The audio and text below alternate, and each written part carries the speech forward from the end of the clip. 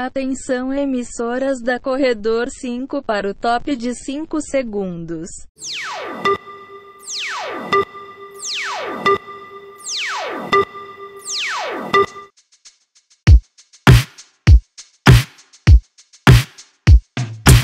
Alô! Estamos de volta em mais um dia aqui de Music Lab, comemorando um ano de canal. E eu tô aqui com o Mr. Poop. E a gente vai Boa falar sobre turnê internacional, tipo, sem dinheiro, sem empresário, sem estrutura. Cara, me conta. É porque é o seguinte, às vezes eu ligo pra ele e falo, cara, vamos fazer a gravação aqui. Ele fala, pô, tem um show na Itália. E aí depois eu, aí eu ligo de noite, tá indo pra sei lá onde. Eu falo, cara, como que você consegue marcar essas datas de fato, assim? Então, na Itália eu jogo em casa que sou italiano, isso já ajuda um pouquinho. Mas é. Eu gosto muito de viajar, gosto muito de conhecer lugares e gosto de me jogar em aventuras. Então tudo começa com o desejo de, de aventura, né? É, o último disco que eu lancei se chama Marinheiro de Terra Firme. E já o disco inteiro fala dessa coisa, de, de migrar de uma cultura para outra, de se mudar de um lugar para o outro, de encontrar pessoas. E acho que a música é o meio que mais proporciona encontro que eu, pelo menos, encontrei na minha vida. Então tudo começa com um desejo de aventura, né? Mas você, quando sai do Brasil, tudo bem, você é da Itália, mas você tá Sim. morando aqui. Eu moro aqui há sete anos. sim. Quando você viaja, porque ontem veio o Everton aqui falar do Uhum. forró de serra, do pé de serra e como que ele viaja. E pelo que ele me falou, ele às vezes tem um, um contato, um telefonema, Sim, e daquele lugar acaba gerando as oportunidades e ele vai indo, né? claro. É, e ele falou, cara, você tem que tocar bem, chegar na hora, ser responsável, não dar problema e, e vai pintar. Sim, sim, sim. Você marca esses shows antes, você já sabe pra onde você vai ir? Ou também é nesse esquema de você vai pra um e as outras vão surgindo? Então, eu acho que é uma questão de lugares-chave. Por exemplo, eu falei a coisa da Itália antes brincando. Na verdade, nesse momento, eu talvez seja mais em casa no Brasil que não na Itália, né? Para tocar como contatos musicais. Mas, por exemplo, muitas vezes ficava. a- a- no, no começo ficava em pânico. Né? Falei, cara, tem que marcar uma turnê do outro lado do oceano. Beleza, eu tenho um custo para fazer isso, na passagem de avião, um custo onde ficar, etc. Felizmente tem Airbnb, todas essas coisas que facilitam muito a, a, a vida, né? os custos as coisas. Mas eu queria marcar tudo de uma vez, sabe? Marcar cinco shows, garantir cachê, garantir a viagem, garantir tudo e voltar.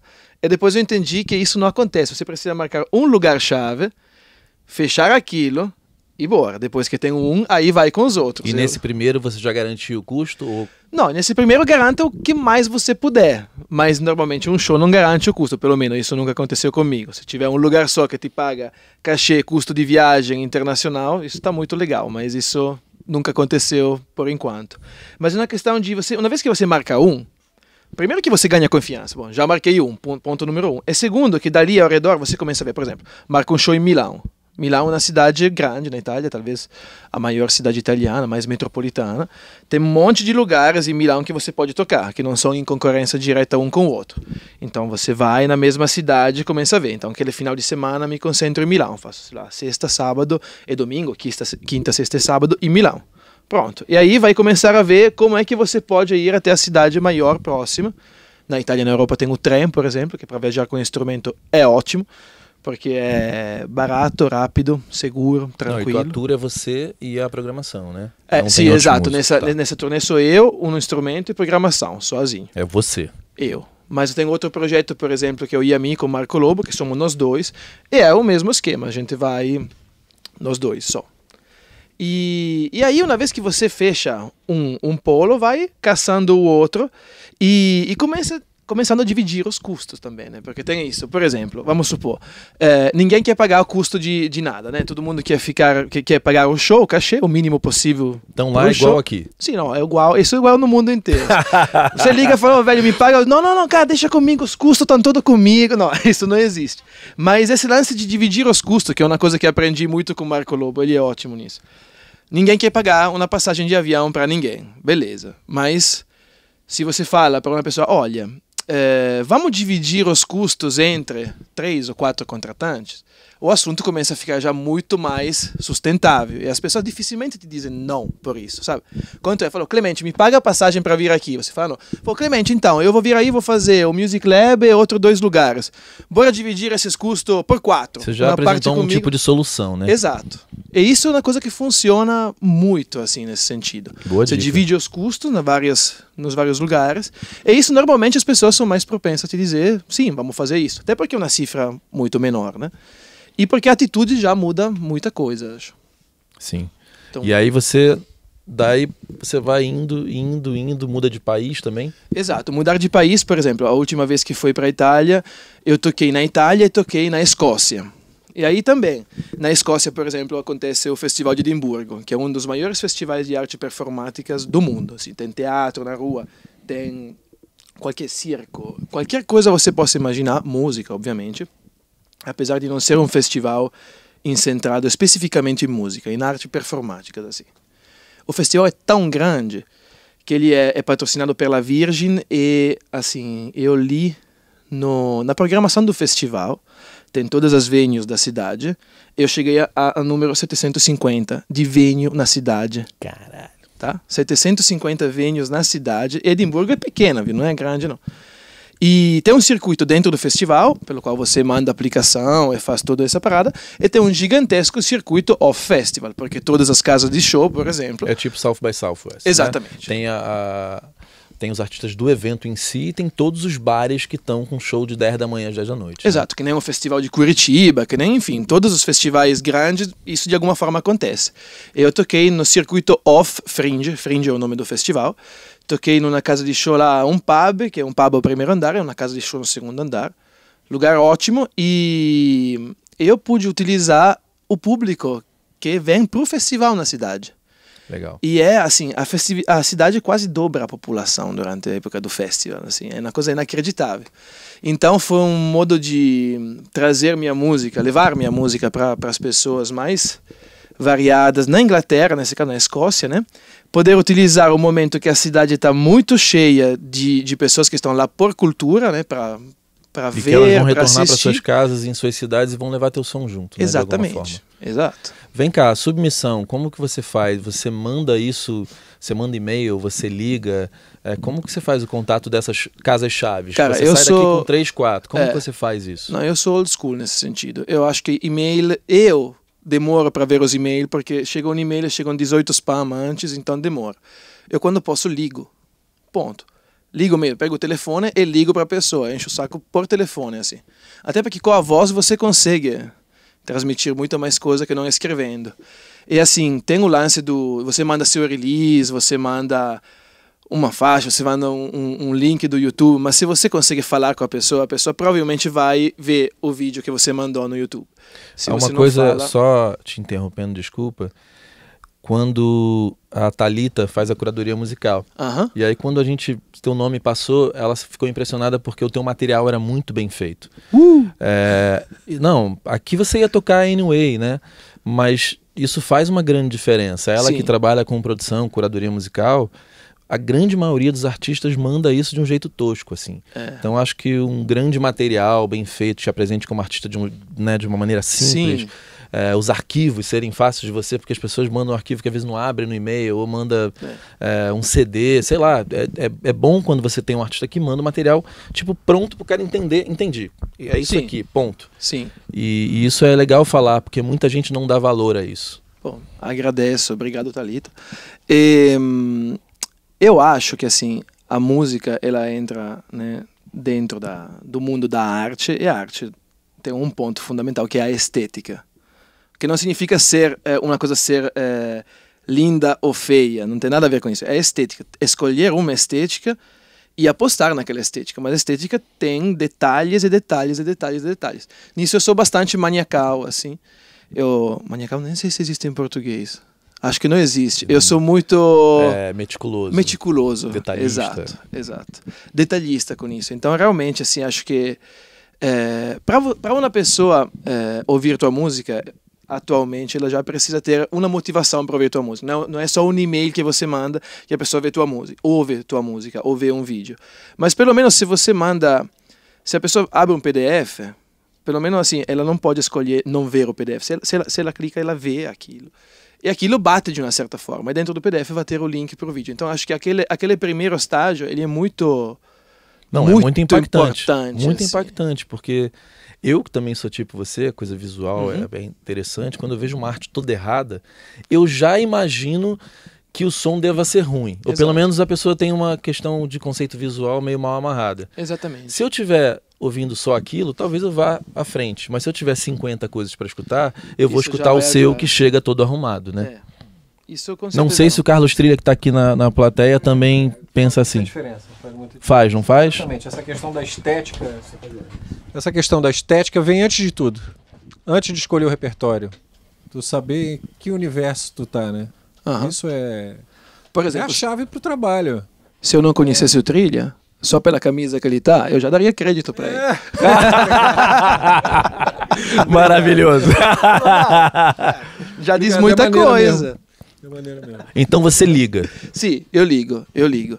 Lógico, ligando em italiano, eu falo, na Itália eu falo em italiano, falo alguns idiomas, isso ajuda, e, mas eu tento sempre ligar com a pessoa. Mesmo, mesmo tem, po- pode ter problema de comunicação e tal, mas se a pessoa ouve tua voz, isso já, já, é, já é um passo para frente. E acho. normalmente é cachê ou é bilheteria ou é cover artístico? Como que funciona Então, na Europa, assim, na Aqui a gente entra num âmbito bem amplo. De Eh, possibilidades, De né? possibilidades. Tem lugares que é, que é cachê, você, você tenta, obviamente, negociar o cachê o quanto mais. Tem lugares que é só eh, bilheteria, tem lugares que a bilheteria é ainda dividida entre a casa e o artista. Eu sempre faço contas nesse, nesse sentido, que é o seguinte. eh, ou fecho um, um, um cachê, beleza. Quando fecho o cachê, vamos dizer que normalmente a solução é melhor, mas não necessariamente. Porque depende da quantidade de público que você tem naquele lugar. Por exemplo, você fecha um, um cachê num lugar onde você tem muito público, de repente, se você faz a conta com quanto a galera pagou para chegar, você pode ser que você perdeu o dinheiro em vez de ganhar, no caso. Então, não necessariamente o que está garantido seria, é, é melhor do que você pode, pode fazer. Por exemplo, quando eu vou na minha região, na Itália, que eu sei que tem um público lá, eu posso fazer tranquilamente bilheteria, que isso vai dar mais do cachê que a casa me ofereceria, por exemplo Sim. porque eu sei que tem um certo número de fãs, etc. Mas aí acho que entra mais um discurso de construção, ou seja, o cachê é, o- ou a bilheteria é uma parte secundária, acho, do trabalho que você está fazendo. Porque sim, todo mundo precisa de dinheiro, precisa ganhar, mas no, no discurso de construção tem lugares muito bacanas que você pode fazer, pela, pode fazer um show, pela sua carreira, pela projeção que você pode ter lá, Perfeito. onde vale a pena você ir, mesmo sem ganhar nada. Tem lugares que você pode fazer de graça ou a perder, porque a próxima vez que você vai voltar, isso vai se transformar em outras coisas que vão te render no futuro. Então, vamos dizer que eh, essa relação realmente é muito variável. Eu começo a, começa a entrar o discurso de custos. Então, quanto custa para você chegar lá? Ah, me custa 200 euros chegar nesse lugar. Então, beleza, meu ponto zero é 200 euros. Consigo fazer 400 euros de bilheteria? Sim ou não? Para ter 200 euros de ganho, por exemplo. Ou caso eu não consiga lá fazer isso, consigo, consigo que a pessoa divida esse custo com outro lugar e chegar a ganhar 100, por exemplo, naquele lugar. Estou falando cifras aleatórias, só, só dividindo essa coisa. Então, realmente, depende tudo do percurso que você quer fazer. Se você vai no, tocar num lugar onde você acha que nunca mais vai voltar na sua vida, então fecha um cachê e pronto. Mas se você acha que você pode voltar uma vez por ano, uma vez cada seis meses, uma vez cada dois anos, talvez você pode começar um discurso mais, mais longo, onde vale a pena talvez fazer por bilheteria, porque a sua bilheteria pode crescer ao longo do tempo, e porque a pessoa também, insomma, uma pessoa que não te conhece, num lugar onde você nunca foi, ela tem que apostar em você. Então você chega, né, bonito, na hora certa, com o instrumento afinado, canta bem, toca bem, se resolve o quanto mais. Mas isso já é um passo sucessivo, né? Primeiro você tem que convencer a pessoa. Então se você assume o risco junto com a pessoa, isso ajuda muito. Isso é outra coisa que aprendi com o Marco Lobo. Eu falei, "Bom, vamos, vamos, vamos apostar junto. Tu vai fechar um show, né? Tipo, va- vamos, vamos apostar junto nesse show. Eu arrisco com você. Vamos, vamos, sei lá, dividir a bilheteria ou fazer 60 e 40, o que for, o que for o caso. Mas vamos arriscar junto. Porque tem muito essa ideia que o cara da... A pessoa que gerencia a casa de show, ele... Ele tem em mão tudo, né? Na verdade, ele tem primariamente um monte de custos na mão, assim, que tem que gerenciar Perfeito. é custos, aí né, velho? Primariamente é isso. Ele não é o inimigo, né? Ele tem Não. que ganhar dinheiro também, né? Ele é sócio, exato. Tem que ser bom para todo mundo a relação. Agora, entram outras coisas. Você pode, sei lá, pode também fazer o contrário, não ter nem bilheteria nem cachê e a gente faz uma racha uma percentagem do faturamento da casa daquele dia. Também isso, Isso existe. acontece lá também. Acontece lá. É mais difícil, mas acontece mais do que aqui, por exemplo. Aqui ninguém quer abrir mão do bar normalmente, assim, é muito raro. Lá é mais fácil isso. Pelo menos já aconteceu mais. Porque acho que a galera já experimentou mais formas de, de venda e, e de compra de show, né? Mas isso é uma coisa de confiança, assim. Vamos Sim. abrir, não tem nenhum custo para entrar. O que normalmente isso é muito bom para artista, porque ninguém tem que pagar para ir ver um show de uma pessoa que, vamos supor, que não conhece ainda, né? Então, realmente, essa possibilidade é boa. Depois você vai dividindo os lucros que aquela noite deu para o lugar, tirando os custos, etc. Sim. É, você vê, assim, muito músico independente começando a, a faturar e bancar os custos com merchandising, né? Camiseta, CD, adesivo. Você tá levando é, produto para vender, assim, no show? E isso serve realmente para ajudar teu faturamento, assim? Então, isso serve. Na verdade, eu atualmente não estou levando os produtos que eu gostaria de levar. Eu, na penúltima tour que fiz na Europa, eu trouxe meus CDs e vendi muitos CDs. A quanto? Vendi CDs a 15 euros. Porra. Vendi Fabricado todos. aqui, Fabricado aqui. baratinho. Exato. Meu CD custou aqui, o CD físico custou 2,75 cada cópia. Pô, Então 15 isso me euros, ajudou, então sim. isso me ajudou muito na 10 discos são 150 euros, 150 euros já é um valor para fazer coisas, né? E, mas atualmente eu não tenho nem mais onde ouvir CD, porque não sou o Carlos Trilhas que tem tudo para onde ouvir. não, mas eu realmente morreu, morreu o meu leitor de CD em casa, então não tenho mais. Aí fiquei pensando qual é o sentido realmente disso, né? Óbvio, depois que você faz um show e o público gostou do show, existe aquela empatia, aquele momento onde você tendencialmente pode vender muita coisa. O que você tiver, se você construir uma relação forte, você vai vender, porque as pessoas querem levar para casa Levar algo. alguma coisa daquela experiência. Exato. né? Agora, o que, que é o melhor fazer? Cara, eu vi, aí em Nova York eu vi muito isso, né? A banda já tem essa mesinha, normalmente é a namorada ou amigo, ou tipo, se a namorada ou namorado, seja lá o que Uhum. for, que monta a mesinha, porque não dá pra você ter uma Sim. pessoa contratada, é um amigo, né? Quando a banda é, menor. E eu vi muito assim, o CD aquele horroroso que entra no, no envelopinho, aí o CD legal, e às vezes um CD fodão de 40 dólares com livrinho, é, algo que você possa botar em cima da mesa, né? Como souvenir. Então as pessoas vendem, tipo, o produto tosco, aí tem o QR Codes, aí tem, Sim. tipo, adesivinho, broche vende muito nos Estados Unidos, né? Broche é, É, um broche produtaço, assim, aqui eu acho que as pessoas não usam muito broche. Na Europa vende broche também. Vende, né? E camiseta vende pra caralho, bicho. É. Camiseta vende pra caramba. Aí entra um, um outro problema Ah, relacionado só à camiseta. um, um, um detalhe, o, o baixista, se eu não me engano, o baixista do, do Guns N' Roses original Aham. virou um gestor, né? É, de pessoas famosas, então ele Olha. cuida do dinheiro de muita gente. E ele fala que hoje, quando ele encontra as pessoas no, no aeroporto, antes era, pô, vendeu quantos CDs? E hoje, é, cara, quantas camisetas você tá vendendo? então você vê que a renda mudou de lugar, né? Claro, claro. Tem um livro também do, do fundador da banda Kiss. Não sei se você leu Já esse é livro. o, é o Inc.me, É. né? Não, é não é. do. É, não, não, não, é outro livro. Se chama Music Music Business for Music Economy for Business. O nome é, o nome, Esse eu é- não o nome é assim. Cara, o cara, enfim, não concordo com 90% do que o cara fala, É porque ele é um- bem machista, ele é bem Pois escroto, é, ele é assim, bem né? escroto e, e não é realmente uma pessoa a se admirar, mas ele fala, abre muito jogo sobre o que, que é o income do Kiss.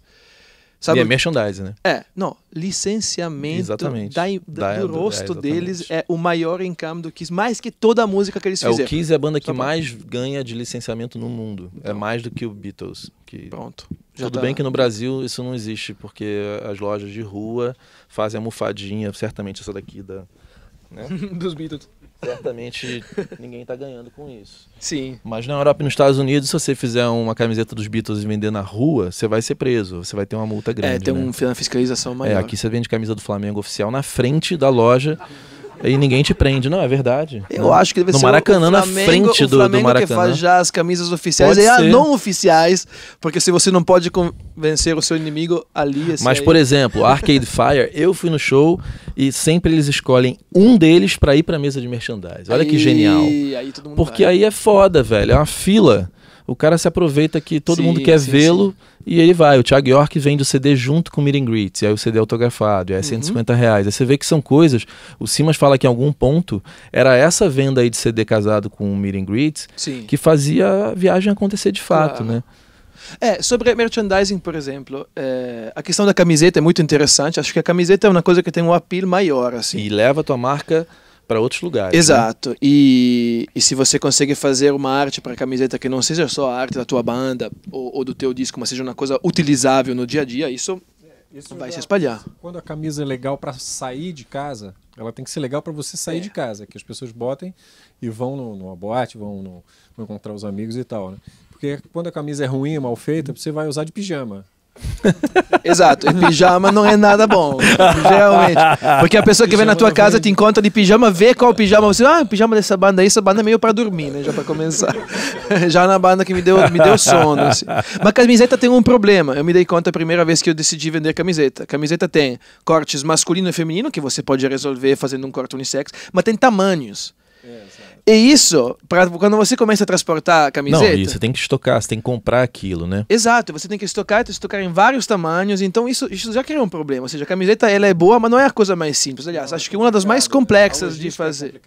Como? A logística é complicada. né? exato. De, de mandar fazer, inclusive a- o, o controle de qualidade também é difícil. Você fazer uma camisa de qualidade com malha de Exato. qualidade. Tem que fazer números grandes. Outra coisa, por Eu exemplo. fiz que eu- algumas do, do eu, fi- eu fiz algumas do Moog Beat, por exemplo. Aham. Eu fiz é, com umas formas de onda, com outra a gente fez com outras opções, né? Os desenhos bem bonitos. E as malhas de qualidade venderam logo. É, tá vendo? Por um preço é, médio de quanto? Cara, era 45, Bom, 50, esse valor. ótimo. Ótimo. É porque tem esse problema do merchandising também, da transportabilidade do merchandising. E é uma camiseta Como é legal. você faz para levar isso? Tem alguma, alguma burocracia? Em que sentido? Quando pra chega na trazer, imigração. segue, Ah, é, Esse material todo que você produz no Brasil, quando você leva, existe alguma buro- burocracia, alguma coisa que emperre isso ou é tranquilo? Não, você levar coisa de cá para lá é muito mais tranquilo de levar de lá para cá. É, isso de fato, assim, eu nunca ninguém abriu minha mala saindo do Brasil e chegando na Europa.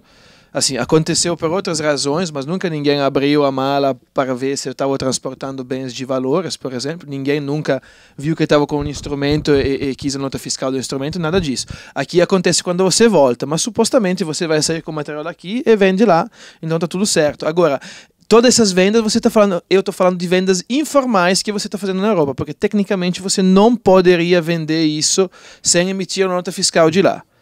Então isso fica beirando a ilegalidade. Não é completamente legal você fazer isso, mas não é completamente legal também. A forma certa de fazer isso seria você se associar a alguém de lá, no caso da Itália com uma partita IVA, outra coisa que seria equivalente de um CNPJ que possa emitir uma eventual nota fiscal para isso. Tem um detalhe, quando você está saindo com CDs e a sua cara está ali estampada no CD, tudo bem. É. Você prova que é tá- você. Porque você É. está Sim. levando que é um material de divulgação. Mesmo Exato. camiseta, você pode. Você é material de divulgação, mesmo que você venda, é um material de divulgação. Isso é, é, Sim. é legítimo. Não é um negócio. Você não está. aquilo ali é um complemento do seu negócio, vamos Sim. supor assim, né? Não é. Não é, o- não é- você não é um vendedor de camiseta. Se Exato. você fosse um vendedor de camiseta, você estava indo com cinco malas de camiseta, né? Claro. Exatamente. Claro. Então, você é músico que está indo para fazer show e está levando algumas camisas. Ninguém vai implicar com você. Alguma Outra vez teve problema, fazer- Pupi? Não, Não, não, não, porque não, a- A, gente estava indo para Portugal com a Arícia, por exemplo, e a gente levou 100, 100 CDs. E pegaram um pouco no pé, assim e tal. Uhum. Era, era- eram quatro caixas de, de 25. Quatro caixas de 25. Isso entrando lá. É, e- é, aí, mas como estava o rosto dela e a gente falou que É, você fala que é divulgação. etc. E sobre o discurso da, da venda lá de coisas, por exemplo, tem uma forma que você pode fazer para evitar problema, que é você deixar uma doação livre ou doação espontânea com o mínimo sugerido de. E por quanto hipócrita isso possa parecer, muda tudo respeito à Claro. lei e às normativas vigentes em cada país, porque você pode deixar uma coisa com uma doação livre e sugerir o mínimo da doação livre, não é proibido isso. E aí não se configura mais como venda, por exemplo, aí você já Interessante. é, É. sai disso. Então, isso na forma legal por quanto possa ser um pouco hipócrita, de você fazer isso sem ter nenhum tipo de, de problema, enfim.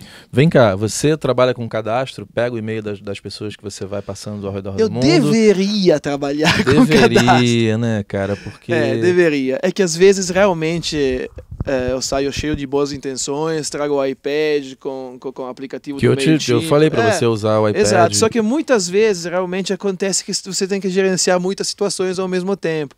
E aí não vai dar, porque o iPad, beleza, tem um amigo, você deixa o iPad com ele e fala, ah, cata o e-mail da- das pessoas. Mas às vezes não tem essa figura para estar lá. Não, e é importante que o e-mail tenha alguma coisa que a pessoa queira, É. né, receber. Então, Exato. muita gente fala, ó, tem, cara, o making off tá aqui, banda eletrônica, bota, ah, tem os samples. Então, Sim. me dá seu e-mail que eu vou te mandar por e-mail. Pô, isso é uma é, boa dica. É, samples que para DJ. E tem muita banda, tipo, em Austin, muita banda tinha a barraquinha ali, já dando CD em troca do e-mail, já usando o CD Sim, como sim, sim. mas para quem nunca fez isso, o MailChimp, Noise Trade, são plataformas que tem um widgetzinho, tem o app, então o widget você pode botar em qualquer lugar, né, no Facebook ou no Uhum. site, aí vai ter lá o, né, o lance, bote o e-mail, etc. Você pode customizar se você mexer no código. E tem o app pro, pro, pra, pro show que você pode passar. Inclusive a Thalita foi uma Sim. pessoa que eu acabei conhecendo porque era um show em BH, do Motel 1111, e eu tava indo coletar e-mail e as pessoas achavam meio estranho. Eu falei, pô, o e-mail Ah, tem tá. muito valor, né? muito, muito. Porque É. o e-mail é entrega, é entrega garantida. En- Entrega Sim. garantida. Sim. E, e no show do Motel 1111 eu falava, olha, você dá teu e-mail que vai chegar o disco por- agora para você por Agora, e-mail. né? Na verdade, todo mundo dá. Lógico Sim. que o open rate depois talvez não seja 100%, vai ser 35, 40% que é a média, né? Se tiver 25, 30 já é uma boa média Já na boa média, sim. de open rates. Mas assim, você tem a chance de se comunicar com aquela pessoa Sim, sim, num sim. segundo momento, né? Sabe o que e que a é- entrega imediata, como o Trilha falou. É. É, Quando- amigos, no, no Facebook, no, no- nas- nas redes, assim, por melhor que seja, você chega a 5%. Quando- É isso. 1%, se você não botar dinheiro. No normal É, é, não, 1%. É, é. Mas uma coisa boa também que eu aprendi a fazer com outro amigo, que é o Pedro Mann, é, é o seguinte, a gente tava tocando, eu tava acompanhando ele num show, a certo ponto o, o violão dele tava muito desafinado, ele começou a mexer no afinador aí, até aquele momento horrível, né, que você tá afinando o instrumento. aí ele olha pra galera e fala, então galera, eu preciso afinar aqui. Eu sei que vocês, nesse exato momento, vocês vão pegar o celular de vocês para ver as coisas, então meu Instagram é... Anota aí. Falando isso aí, ah, meu, meu perfil no, no, no, no Spotify, vai lá e segue aí, meu canal de YouTube é. E a galera tava com o celular na mão na hora que ele falou isso. Aí eu não sei, eu, eu, não tenho acesso aos dados dele pra ver quantas pessoas naquele momento realmente fez É, isso. eu já vi Mas banda- eu aposto que foi muita gente. Não, é sempre. E tem banda que tá fazendo isso no bis. Cara, se tiver bis, vamos lá, todo mundo, sem vergonha mesmo. Cara, vamos todo mundo aqui fazer um watch party, por exemplo. Olha. Que o watch party, na verdade, você mostra o show que você tá assistindo para todas as pessoas que te acompanham online, né? Aham. Então você multiplica o Sim, número de sim, pessoas. sim, sim. É, e tem muito, cara. Vamos lá, todo mundo, quero ver todo mundo me seguindo no Spotify, vou conferir aqui pra Pois ter é, bis. exato. E com humor, cara. As pessoas estão ali. Se a Exato. experiência foi boa, o que que as pessoas vão fazer, entendeu? Uhum. Isso é entrega quase direta de alguma forma. Em vez de E ficar ainda- contando, eu fiz essa música, aquela chatice que ninguém gosta É. de escutar quando não conhece o artista. Não, porque a gente quer saber como o Gil fez Cara- uma música, não como o cara que você nunca viu na vida. Agora eu vou contar uma história engraçada. Exato. E artista novo fala mais da história da música É. do que artista consagrado, né? É. Eu, eu, eu tenho uma história engraçada em Edimburgo, eu fiz esse show lá, né? E aí, antes de mim, tinha uma banda de Edimburgo que chama Wolf Note. Isso aí é que estão mandando de é, não, parar. tava... O que, que é isso? O que, que é isso? O que, que é isso? É, tipo, tá acabando o tempo. É 10 Tá, minutos ou tá. já já? 10 não, 10 minutos a gente fala ainda pra caramba. Então vamos nessa. Não, então, tocou na banda chama Wolf Note, que é de lá mesmo, antes de mim. E eu entrei no palco e falei, cara, aqui não, não conheço praticamente ninguém, né? Excepto minha irmã que tava lá. Falei, bom, vou vou ter que dizer alguma coisa, cara. Eu comecei a falar em inglês, comecei a contar história pra caramba. No final, muita galera veio me falar, muitas pessoas veio me falar, cara, muito legal como você contou a história das músicas, porque aqui ninguém faz isso. Óbvio que eu não é que falei 20 minutos de cada música, peguei algumas, né? E, e contei histórias engraçadas, na verdade. Ah, tem isso, né? Querendo ou não ser engraçado, porque meu inglês já saía engraçado lá. Então qualquer coisa que eu falava, todo mundo já tava comigo, entendeu? Tava querendo entender o que, que eu estivesse falando, assim. E foi ótimo isso, porque isso gerou muita, muita conexão com a Isso plateia. foi nos Estados Unidos? Não, isso foi na Escócia. Na Escócia. E, hum, e acontece que, às vezes, a, a gente, por ser latino, bra- brasileiro ou, ou, ou italiano, tem, tem um sangue latino, tem uma comunicação a mais que não os anglo-saxões, por exemplo. Eles não falam nada.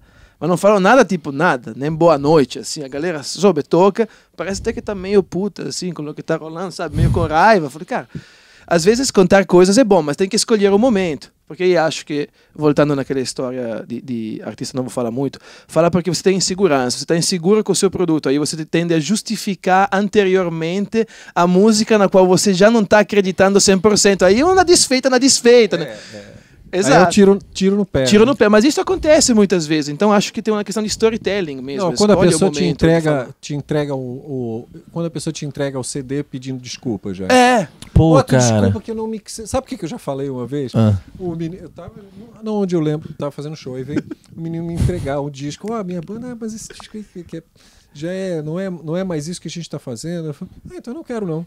É. A pessoa fica mal, né? É, então eu falei, não, mas eu falei brincando, eu falei, ah, então eu não quero, pô, porque tu tá aqui me dando teu disco, dando um monte de desculpa. É. Quando tu tiver orgulhoso, achando que tá, tá foda. É que às vezes. Não, isso é uma outra coisa, cara. Mandar material pra pessoas, tipo o trilha. Eu recebo muito material. Tem gente que manda coisa ruim mesmo, mal feito. ou assim, que tá pra ficar pronto, ou a demo. Cara, não manda isso pra. Eu, eu pelo menos, raramente. Eu não. Sei lá, cara. Eu não. Eu não eu começo a escutar, tá muito ruim, eu não vou ouvir.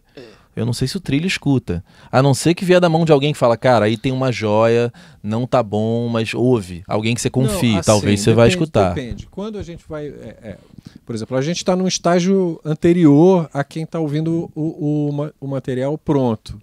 Então, quando é alguma coisa que eu vou pegar para trabalhar, Não, mas aí é uma outra história, já é, É. uma outra Não, etapa do é trabalho. aí sim, aí eu sou, pô, eu. Inclusive, eu, tem gente que produz um negócio para me mandar, por exemplo. E às vezes fica pior do que se mandasse É, violão em voz, eu né? já falo, É, cara, foi, grava não, no grava- celular, é isso ou aí. na Isso. câmera. É isso não, aí. Isso é outra coisa. Aí a galera, a pessoa te fala, não, olha, gravei com o celular, assim, a ideia crua da música. Mas quando Não, entrega um negócio pronto, Mas a melhor ruim, coisa É. eu peço na câmera, porque aí tu já vê tudo.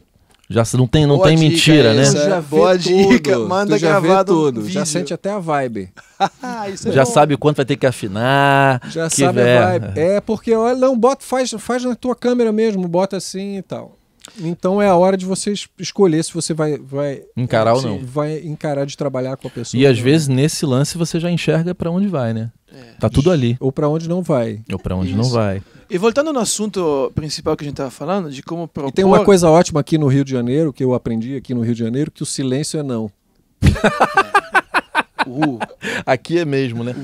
Se a pessoa te convida, tu não responde, porque assim, é, a gente que trabalha com prazo de entrega e tal, tendo que fazer coisa, é normal você olhar a pessoa falar com você, de- aí tu pô, tem que dar desculpa, dizer que aquele que aquele trabalho, que, que aquele dia você não pode, que não sei o quê. Só que você, na hora você não pode, que tá É. fazendo uma coisa.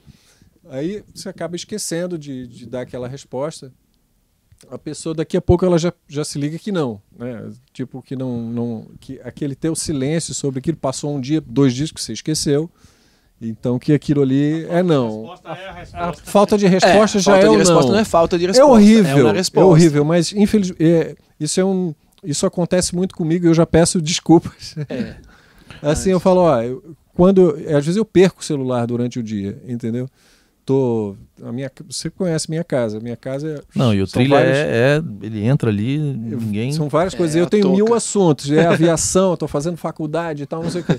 E, e- e trabalhando. Então, às vezes largo. E, então, acontece que você não precisa. é, é, quando a- a- as pessoas me mandam esse, esse material, por exemplo, eu recebo muita coisa pelo Facebook, o cara entra lá e, pô, queria trabalhar contigo, fazer uma coisa. Eu falo, ó, manda para manda para o e-mail do, do, do estúdio, eu normalmente dou e-mail do estúdio, porque o, o Valdir, com certeza, ele, vai abrir. O Valdir ainda existe. Existe, está lá comigo.